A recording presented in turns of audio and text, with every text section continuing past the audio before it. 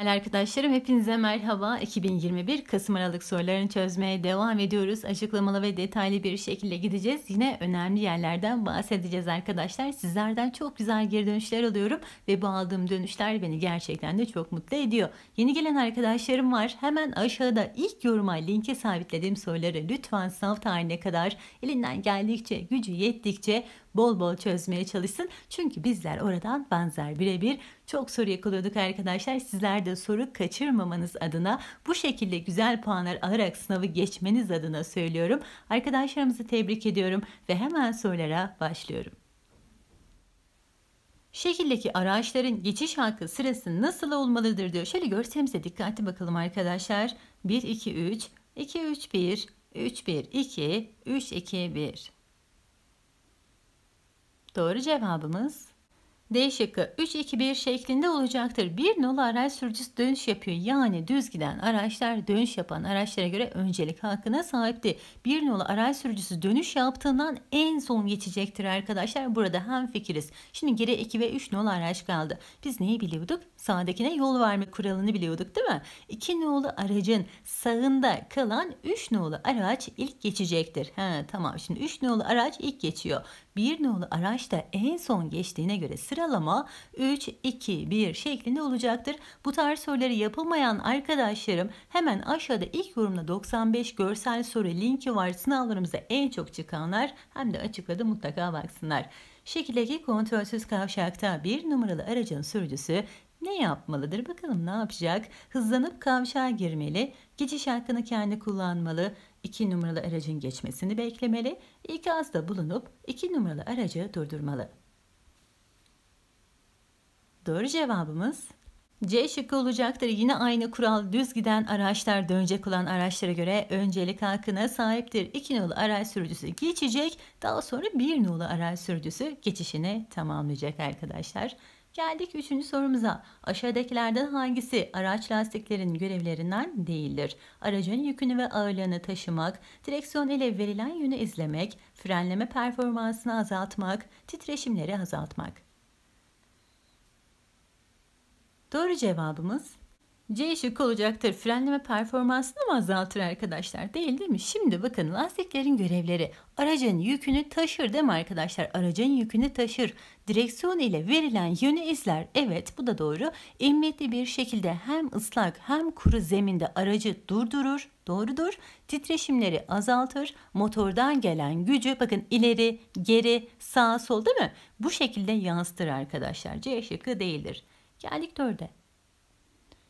Yukarıdaki ifadede trafik adabının hangi yönü üzerine söylenmiş olabilir? Düşene sırtını dönen korksun. Bir gün kendi düştüğünde kimse ona elini uzatmayacaktır. Hangi yönü üzerine söylenmiş olabilir? Yardımlaşma, iletişim, sorumluluk, hoşgörü. Doğru cevabımız A şıkkı yardımlaşma olacaktır. Biri düştüğü zaman onu elinden tutmak, ona yardımda bulunmak gerekir değil mi arkadaşlar? Çünkü her insan bir gün dibe vurabilir. Biz de bir gün düşebiliriz işte o zaman düştüğümüz zaman birilerinin yardımına ihtiyacımız olabilir. Bu yüzden düşene sırtımızı dönmüyoruz. Her zaman yardımlaşmayı seçiyoruz. Geldik 5'e.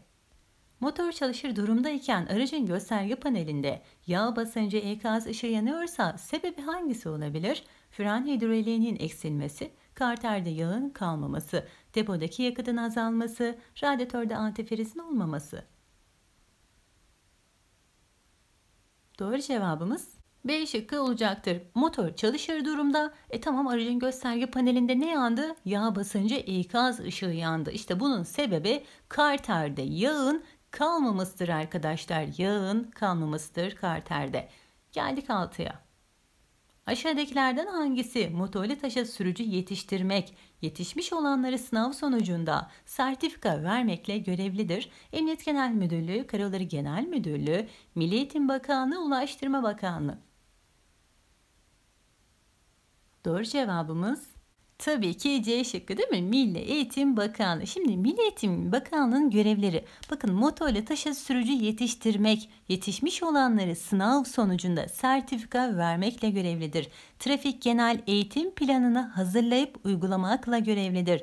Çocuk trafik eğitim parklarının yapılma, açılma, eğitim, denetim ve çalışma esaslarını belirlemek yine Milli Eğitim Bakanlığı'nın görevidir arkadaşlar. E, yıldızlı not veriyorum. Diyorum ki eğitim ile ilgili her türlü çalışmada ya da her türlü soruda hemen gidin Milli Eğitim Bakanlığı'nı işaretleyin. Geldik 7'ye. Sağa dönmek isteyen sürücü aşağıdaki işlemleri hangi sıra ile yapmalıdır? Hız azaltılır, işaret verilir, dar kavisle dönülür, sağ şeride girilir. Bakalım sıralama nasıl olacak? 1, 2, 3, 4, 1, 4, 2, 3, 2, 4, 1, 3, 4, 2, 1, 3. Doğru cevabımız C şıkkı olacaktır. 2, 4, 1, 3. Hadi şöyle gözümüzde canlandıralım arkadaşlar. Bakın e, o pembe ya da kırmızı nasıl gözüküyor bilmiyorum ama arabanın içerisindeyiz bizler. Sağ tarafa dönüş yapacağız. Yani öncelikle bir şöyle sinyalimizi veririz değil mi arkadaşlar? İşaretimizi veririz. Tamam sağ şeride gireriz çok güzel. E, dönüşlerde hız azaltılıyordu. Hadi o zaman hızımızı da azaltalım. E, dar kaviste de dönülür çünkü sağ tarafa döneceğiz. Yani sıralama 2, 4, 1, 3 şeklinde olacaktır. Bu tarz sorularda kendinizi aracın içerisinde olarak düşünün olur mu arkadaşlar? Geldik 8'e. Motora alınan hava içerisindeki toz ve kum zerrelerini aşağıdakilerden hangisi temizler? Karbüratör, hava filtresi, emme subabı, emme manifoldu.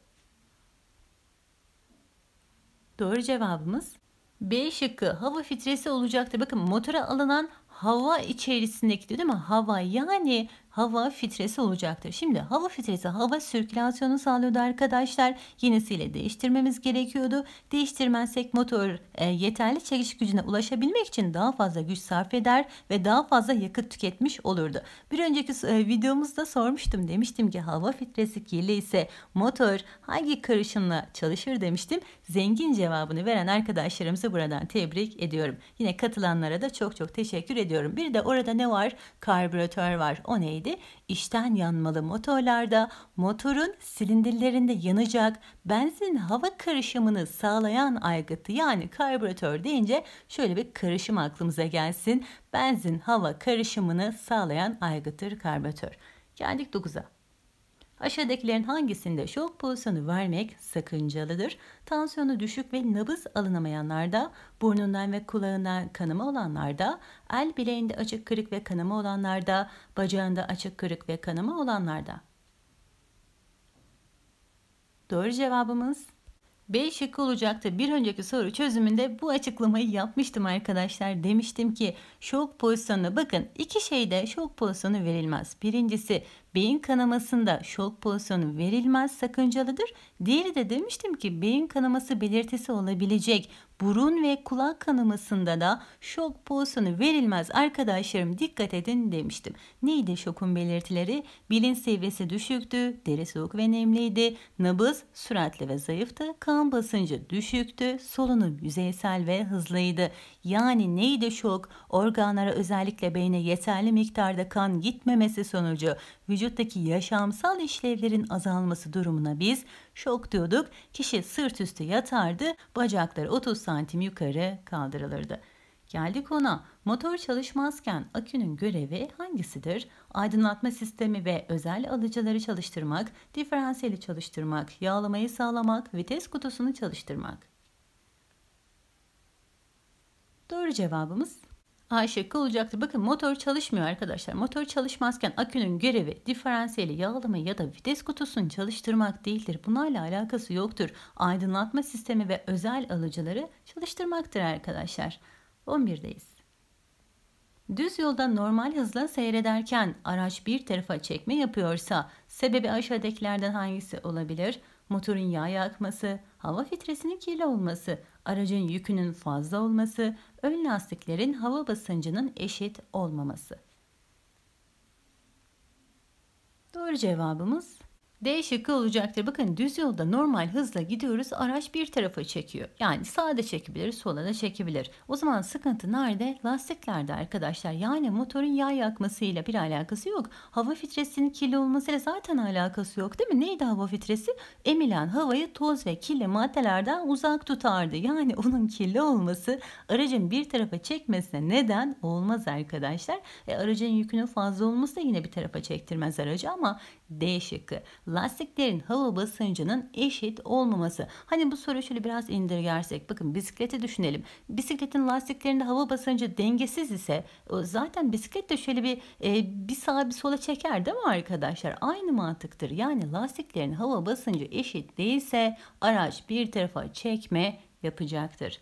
Geldik 12'ye. Trafik para cezalarının tebliğ edildiği tarihten itibaren kaç gün içinde ödenirse %25 indirimden faydalanılır. 15, 25, 20, 30. Doğru cevabımız A şıkkı olacaktır. 15 gün içinde ödenirse %25 indirim yapılır arkadaşlar. Hadi geldik 13'e. Aşağıdakilerden hangisi yolun her iki yönden taşı trafiğine kapatılmış olduğunu bildirir. Birazdan iki tane levha göstereceğim. Öğrenciler çok karıştırıyor diye. Cevabı bulmaya çalışalım. Doğru cevabımız B şıkkı olacaktı arkadaşlar. A şıkkı girişi olmayan yoldur. B şıkkı taşı trafiğine kapalı yoldur. C şıkkı motosiklet hariç motorlu taşı trafiğine kapalı yol. D şıkkı da bisiklet giremez anlamındadır. Şimdi hani demiştim ya iki tane levha var. Öğrenciler çok karıştırıyor diye. Bakın soldaki motosiklet hariç motorla taşı trafiğine kapalı yoldur. Sağdaki ise belirli miktardan fazla patlayıcı ve parlayıcı madde taşıyan taşıt giremez levhasıdır. Arkadaşlar milletin bu tarz benzer levhaları bir arada vermeyi çok sever. Bu yüzden dikkat edin karıştırmayın. Geldik diğerine.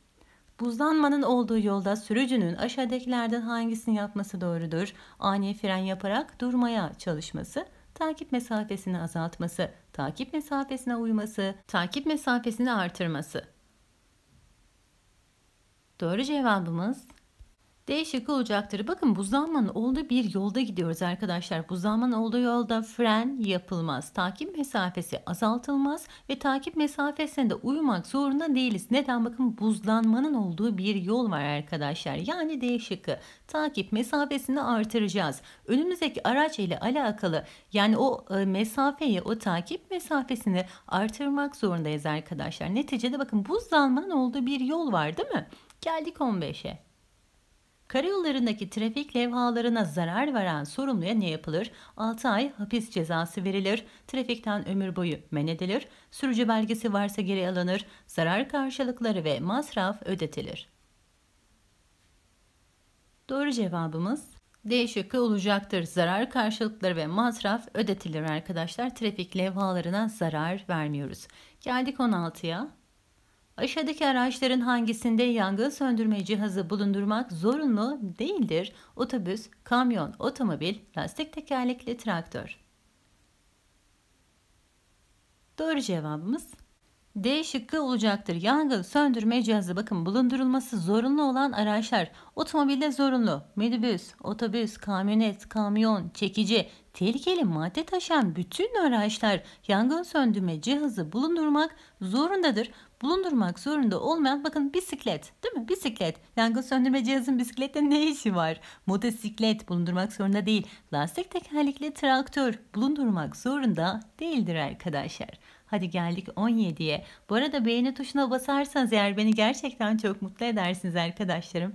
17. Aşağıdakilerden hangisi öfkeyi başarılı bir şekilde yönetmek için önerilen davranışlardan biri değildir. İletişim becerilerinin geliştirilmesi, alaycı ve aşılayıcı mizaha başvurulması, düşünme tarzını yeniden yapılandırılması, nefes egzersizlerinin öğrenilip uygulanması.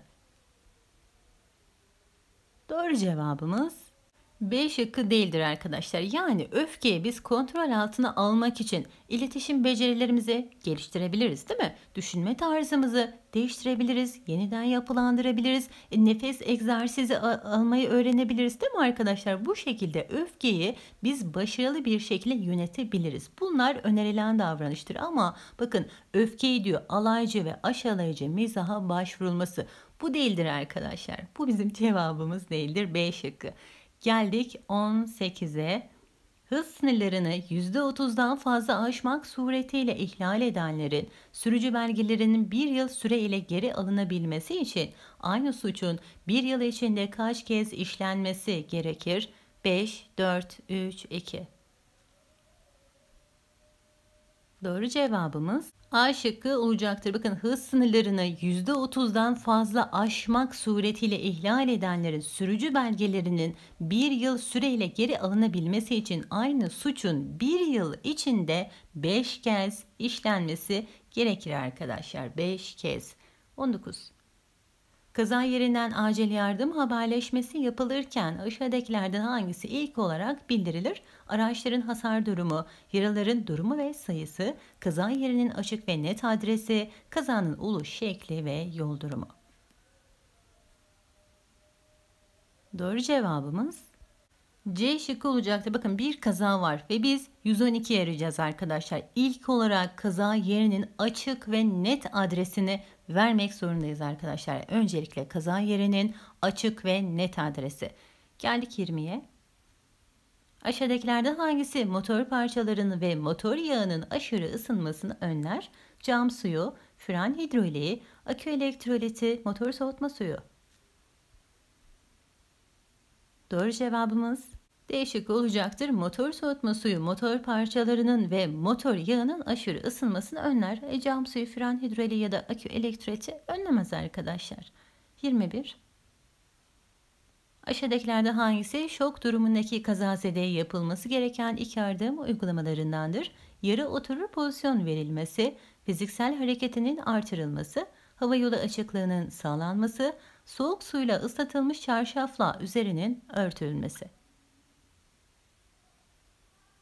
Doğru cevabımız C şıkkı olacaktır. Yani hava yolu açıklığının sağlanması. Şimdi diğer şıklardan da şöyle gidelim arkadaşlar. Şöyle söyleyeyim. Şimdi şok pozisyonu hasta düz bir zemine sırt üstü yatırılıyordu. Kafa yana doğru çevriliyordu ve bacakları 30 santim yukarı kaldırılıyordu. Ayakların yukarı kaldırılmasının sebebi beyne kan gitmesini sağlamakta arkadaşlar. Şoka girmiş kişinin vücut ısısı düşeceğinden kazazedenin üstü örtülür vücut ısısı korunurdu. Ama D şıkkındaki gibi böyle soğuk suyla ıslatılmış falan değil arkadaşlar. Vücut ısısı düşer şoka girmiş kişinin. Ee, daha sonra şunu söyleyeyim. Trafik kazasında görülen en önemli şok belirtisi de vücut ısısının düşmesi ve titremedir arkadaşlar. Kazazede ile konuşarak bilincin açık olması sağlanır. E, fiziksel hareketler artırılmaz. Dediğim gibi yere oturur pozisyonda verilmez. Hava yolu açıklığı sağlanır. 22. Radyatör kapağının arızalı olması hangisine neden olabilir? Motorun soğuk çalışmasına, motorun hareket yapmasına, fren hidroliğinin azalmasına, bijon somunlarının gevşemesine. Doğru cevabımız B şıkkı olacaktı. Bakın radyatör kapağı arızalı arkadaşlar. Yani motor hareket yapacaktır. 23 Gündüz çekilen ve çeken araç arasındaki açıklık 2,5 metreden fazla ise bağlantının orta kısmına aşağıdakilerden hangisi asılmalıdır? Beyaz bayrak, sarı yansıtıcı veya 20 x 20 santim ebadında sarı bez, kırmızı yansıtıcı veya 20 santim 20 e, ebadında kırmızı bez, yeşil yansıtıcı veya 20 santim 20 ebadında yeşil bez. Doğru cevabımız C şıkkı olacaktır. Şimdi soruyu daha net anlamanız adına çekilen ve çeken kelimelerin şöyle kare içerisine aldığım bir araca benzettim arkadaşlar. Çekilen ve çeken araç arasındaki açıklık 2,5 metreden fazla. Ha, tamam o zaman oraya biz ne yapacağız? Kırmızı yansıtıcı veya 20 santim 20 ebadında kırmızı bez e, orta kısmına asacağız arkadaşlar. Geldik 24. sorumuza. Aşağıdakilerden hangisi tedbirsiz ve saygısız araç sürmeye örnek değildir? Hız kurallarına uyulması, yalara su sıçratılması, diğer sürücülerin korkutulması, seyir halindeyken sürücünün elindeki cep telefonunu kullanması. Doğru cevabımız A şıkkı olacaktır. Bakın tedbirsiz, saygısız araç sürme örnek değildir. Hız kurallarına uyulması. Yani hız kurallarına uyan bir sürücü var. E, tedbirsiz olabilir mi? Saygısız olabilir mi? Olamaz değil mi? İşte bu örnek değildir ama bakın diğer şıklar yayalara su sıçratılması saygısızlıktır. Diğer sürücülerin korkutulması terbiyesizliktir, saygısızlıktır değil mi arkadaşlar? D şıkkı da aynı şekilde. Yani ne oldu arkadaşlar? Hani bahse demiştim ya bu tarz sorularda olumlu olumsuz olanı bulmaya çalışın. Bakın A şıkkı hız kurallarına uyulması. Bir tane olumlu var, üç tane olumsuz var değil mi? B, C, D şıkları olumsuz. Demiştim ki ben size şunu sakın unutmayın. Şıklarda 3 tane olumsuz varsa, bir tane olumlu varsa cevap olumlu olandır. 3 tane olumlu varsa, bir tane olumsuz varsa cevap odur arkadaşlar. Geldik 25'e e, 15 diyecektim. Geldik 25.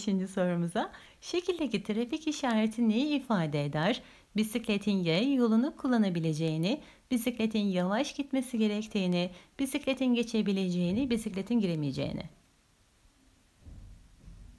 Doğru cevabımız C şıkkı olacaktır. Bisikletin geçebileceğini ifade eder arkadaşlar. 26. Öndeki aracın güvenle takip edildiği uzaklığa ne denir? Takip mesafesi, geçiş mesafesi, görüş mesafesi, intikal mesafesi. Doğru cevabımız A şıkkı olacaktı. Bakın takip edildiği uzaklığa nedir? Takip mesafesi denir arkadaşlar. Hadi bakalım 27'deyiz. Şekildeki trafik işaretinin anlamı nedir? Yaya giremez, bisiklet giremez, at arabası giremez, motorla taşıt giremez. Doğru cevabımız D şıkkı motorlu taşıt giremez anlamındadır arkadaşlar. 28. Zorun haller dışında şehirler arası karayolunu kullanan motorlu araçlarda araç cinsi gözetilmeksizin asgari hız sınırı saate kaç kilometredir? 5, 10, 15, 20. Doğru cevabımız C şıkkı saatte 15 kilometredir. Geldik 29'a. İç kanaması olduğu düşünülen bir kazazedeye ilk yardım olarak aşağıdakilerden hangisinin yapılması yanlıştır? Şoka karşı önlem alınması, ağzından bol sıvı verilmesi, üzerinin örtülerek sıcak tutulması, yaşamsal bulgularının incelenmesi. Doğru cevabımız B şıkkı olacaktır. Bir önceki soru çözümünde söylemiştim iç kanama ile alakalı. İç kanama kanın iç organlara doğru akması durumuna biz iç kanama diyoruz arkadaşlar. İç kanamada ağızdan bol sıvı verilmez arkadaşlarım. Ve geldik 30. sorumuza. Şekildeki trafik işareti sürücüye neyi bildirir? Azami hız sınırını, taşıtın giremeyeceğini, geçme yasağı sonunu, hız sınırlaması sonunu. Doğru cevabımız A şıkkı azami hız sınırını bize bildirecektir. Ve geldik 31. sorumuza. Holger Nielsen sırttan bastırma, dirsekten kaldırma metodu ile suni solunum uygulamasında sırttan basınç yapılması kazazede aşağıdakilerden hangisini sağlar? Bilinç kaybının düzelmesini, kalbin çalışmasını, nefes vermesini, nefes almasını, Holger Nielsen yöntemi, Sylvester yöntemi. Ben bunları soru çözerken açıklamıştım arkadaşlar, anlatmıştım. Bu sorunun cevabını da sizlerden bekliyorum. Hadi bakalım kimler doğru cevap verecek. Yanlış cevap vermekten korkmuyoruz arkadaşlar. Ee, önemli olan katılmaktır. Video işinize yaradıysa beğenip paylaşmayı unutmayın. Ve yeni sorular yayınlamaya devam edeceğim. Bildirimleri de açık tutun. Seviliyorsunuz. Sağlıcakla kalın. Allah'a emanet olun.